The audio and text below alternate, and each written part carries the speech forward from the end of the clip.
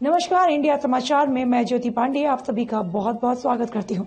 तो चलिए रुक करते हैं कुछ बड़ी खबरों की तरफ़। विदेश भेजने के नाम पर ठगी। बनावटी पासपोर्ट और वीज़ा तैयार कर बेरोजगारों को विदेश में नौकरी दिलाने के नाम पर ठगी करने वाले एक गिरोह को मुंबई क्राइम ब्रांच यूनिट आठ ने गिरफ़्तार किया है। इन ठगों का नाम तारक मंडल, जयंत कबर मंडल, मोइनुद्दीन गोल्डर, इस्फोर शेख, अब्दुल शेख और मैनुद्दीन शेख है। ये सभी आरोपी पश्चिम बंगाल के रहने वाले हैं। ये लोग मलाड के इन्फिनिटी मॉल में मुंबई श्री कंसल्टेंसी नाम का ऑफ़िस खोलकर बेरोजगारों और जरूरतमंद लोगों को विदेश में नौकरी दिलाने का लालच देकर बनावट employment letter contract letter invitation letter बनावट वीज़ा तैयार कर ठगी करते थे। पुलिस ने छापा मारकर 200 से भी ज़्यादा पासपोर्ट, बनावट वीज़ा एचपी लैपटॉप के अलावा कई सामान बरामद किया है। प्रत्येक युवक से ये लोग अस्सी हज़ार रूपए लेते थे और एक लाख तक भी लेते थे। क्राइम ब्रांच के अधिकारी इन आरोपियों से गहन पूछताछ कर रही है। सर बनावट पासपोर्ट और वीज़ा के खिलाफ जो अनएम्प्लॉयड लोग हैं उनको फंसाने का यूनिट आज ने कार्रवाई की क्या मामला है? किस तरीके से इन लोग फंसाए करते थे लोग? मुंबई शहर के क्राइम ब्रांच यूनिट आठ यहाँ पे कार्यरत ए एपीआई मनोहर कारंडे इनको एक गुप्त सूचना मिली हुई थी जिसके तहत मुंबई के मालाड इलाके में इवरशाही नगर मॉल में मुंबई से कंसल्टेंसी इस तरह की एक संस्था बना के इस तरह का एक बिज़नेस शुरू करके कुछ व्यक्ति, बेरोजगार युवकों को, लड़कों को यहाँ पे नौकरी देने के बहाने से उनकी ठगी कर रहे हैं, उनको उनसे चीटिंग कर रहे हैं, इस तरह की बात उनको पता चली थी। इसके तहत यूनिट आठ ने वहाँ पे रेड का आयोजन किया था। जिसके तहत वहाँ पे छः लोग हमें मिले।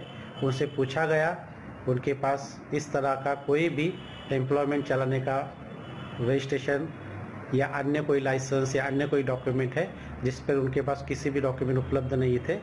छः लोगों के जब हिरासत लेने के बाद में, हिरासत में लेने के बाद जब वहाँ की सर्च किया गया तो वहाँ पे 41 इंडियन पासपोर्ट्स बरामद हुए।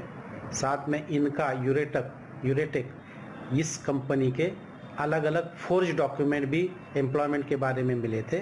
साथ में फेक वीज़ा भी वहाँ पे मिले थे। इसके बाद में पुलिस स्टेशन में इस तरह का अपराध दर्ज किया गया। अपराध दर्ज करने के बाद में छः व्यक्तियों को हिरासत में लेके अरेस्ट कर लिया गया था।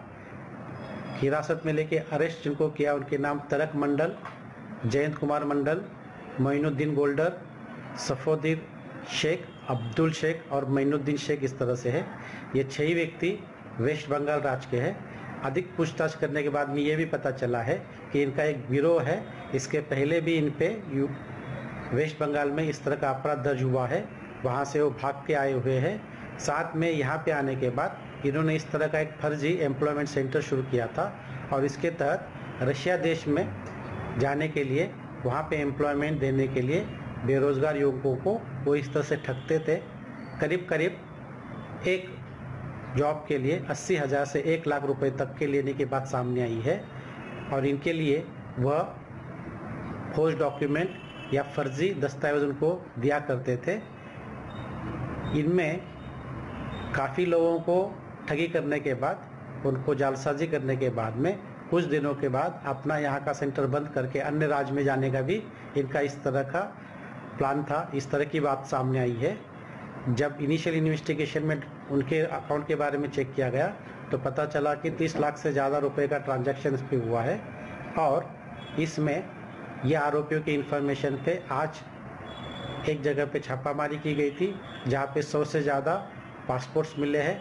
इस इन्वेस्ट इस अपराध में करीब करीब डेढ़ सौ से 200 पासपोर्ट्स और उससे संबंधित व्यक्ति जिनको चीट किया गया है इस तरह की बात सामने आई है।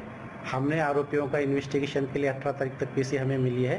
पुलिस कस्टडी में इस अपराध में और कितने लोग शामिल हैं, इसने कितने लोगों को अब तक इस तरह से धोखाधड़ी या ठगी किए, इस तरह के हम इन्वेस्टिगेशन कर रहे हैं। धन्यवाद।